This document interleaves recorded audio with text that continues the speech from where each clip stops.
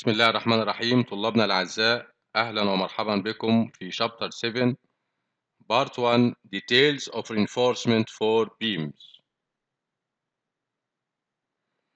زي ما إحنا شايفين هنا إن الكاميرا اللي عندي بيبقى فيها تسليح سفلي فيها تسليح علوي فيها الكنات اللي موجودة عندي.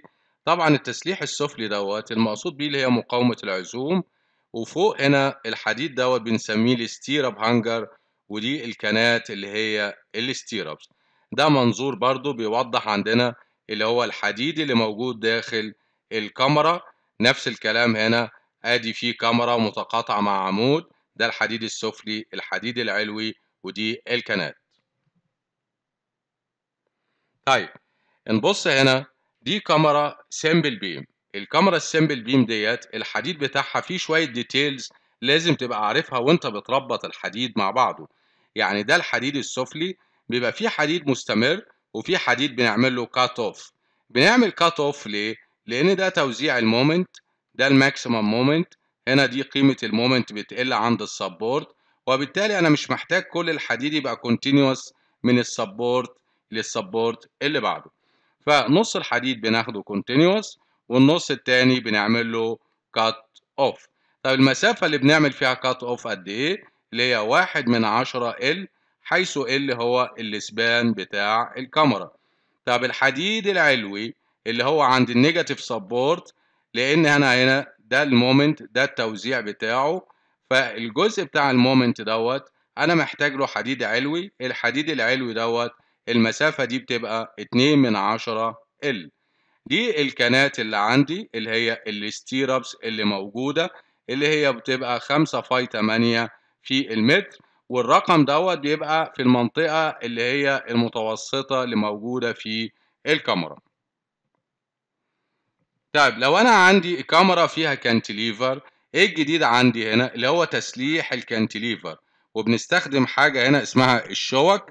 الشوك ديت بتمتد داخل البحر المجاور مسافة واحد ونص LC أو L على أربعة القيمة الأكبر فيهم ويبقى ده تسليح ال cantilever اللي متصل مع الكمرة. طب لو أنا عندي continuous beam ال continuous beam ده توزيع ال moment اللي عليها. فبنلاقي مثلا ده ال span اللي هو الموجود موجود له moment عندي اللي هو w L square على 11 ليه حديد معين. الحديد دوت فيه جزء مستمر فيه جزء بنعمل فيه cut off طب ال cut off عندي بيبقى مسافة كام في الحالة ديت؟ اللي هي المسافة دي اللي هي 15 من 100 في L حيث L هو ال span بتاع الكمرة. طب إيه الجديد عندي هنا؟ اللي هو توزيع ال moment عند ال internal support في moment هنا ال moment ده اللي هو ال negative محتاج حديد. فالحديد دوت بنعمل له cut off يعني في جزء بيبقى مستمر وفي جزء بنعمل له cut off المسافة اللي بيدخلها جوه البحر هنا L على 3 والحديد المقطوع بيبقى L على 4 طيب هنا في بعض الأخطاء الشائعة عندنا. يعني أنا لو عندي كمرة ما يبقاش توزيع الكنات بنفس الطريقة من أول ال support لنهاية ال support. لا بيحصل عملية إن إحنا بنكثف الكنات بجوار ال support. زي ما إحنا شايفين ال stirrup spacing هنا بيبقى d على أربعة أو 100 ملي أو اللي هو 8 ال diameter whichever is the least. المسافة اللي بنعمل فيها تكثيف اللي هي بتبقى L واحد على تلاتة. نفس الكلام هنا بنحصل تكثيف للكنات اللي عندي. يبقى إحنا بنقول إن عند ال support بيحصل تكثيف للكنات وده ليه سبب؟ إيه هو السبب؟ إن ال maximum shear بيبقى عند ال support والهدف الأساسي بتاع الكنات هو مقاومة ال shear stress طيب في حالة إن الكمرة ال cross section بتاعها مش continuous وليه نفس ال depth بمعنى في depth هنا وفي depth هنا مختلف.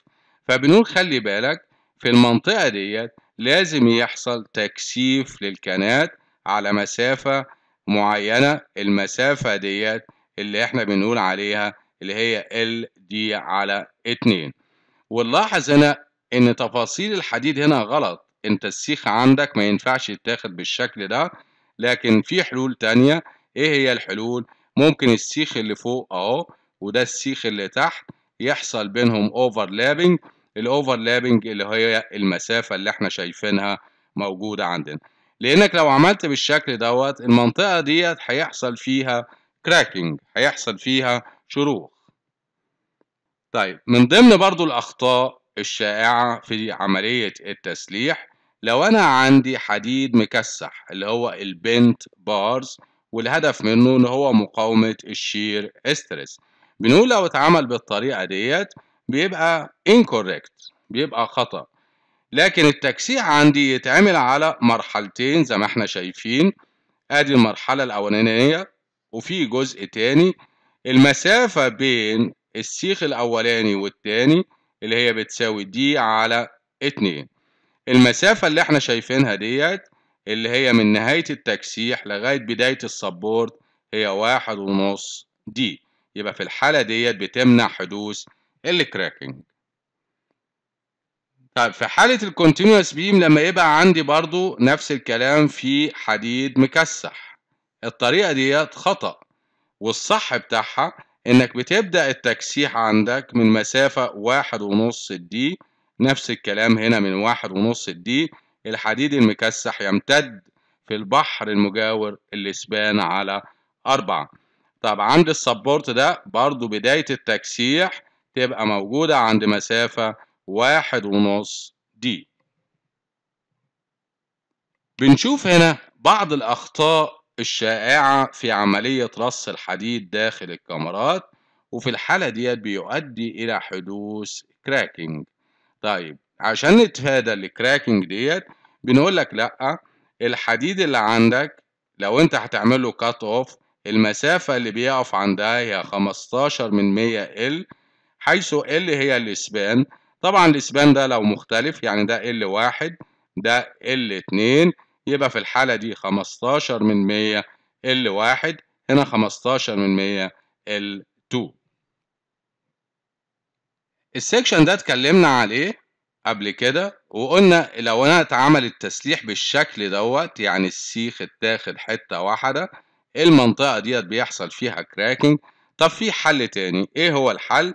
علشان نمنع الكراكنج إنك تعمل عندك الحديد بالشكل ده على شكل كرافتة زي ما أنت شايف أدي السيخ أهو والسيخ اللي تحت بيبقى بالشكل دوت وفي الحالة ديت بنعمل تكثيف للكنات زي ما أنت شايف المنطقة ديت إحنا مكثفين فيها الكنات وبالتالي تمنع حدوث الكراكنج في الكمرة اللي عندك.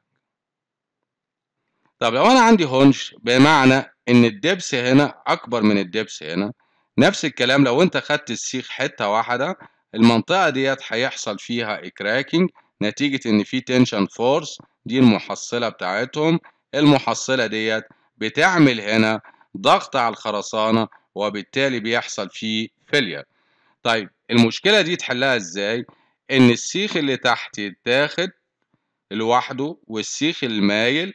طب المسافة دي كام؟ اللي هي Ld اللي هي ال developing length نفس الكلام هنا. يبقى هنا في الحالة ديت مش هيحصل عندك cracking في المنطقة ديت نتيجة إنك واخد السيخ في جزء واحد.